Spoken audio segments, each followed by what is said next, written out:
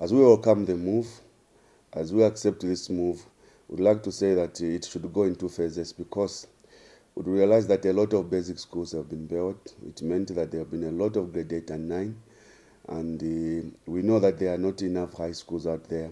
Now, to take back the grade 8 and 9s to high school and then they become secondary schools cannot be done overnight. It's a challenge again because we know that there are a lot of diploma holders who are in basic schools who are now going to be teachers in secondary schools, uh, in grade 8 and 9 as junior secondary schools.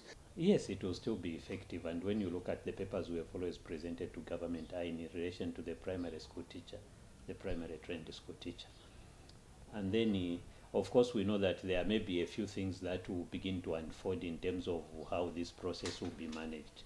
Obviously, we'll begin to discuss now with the, the relevant authorities in the Ministry of Education at different forums to see how best we handle the situation.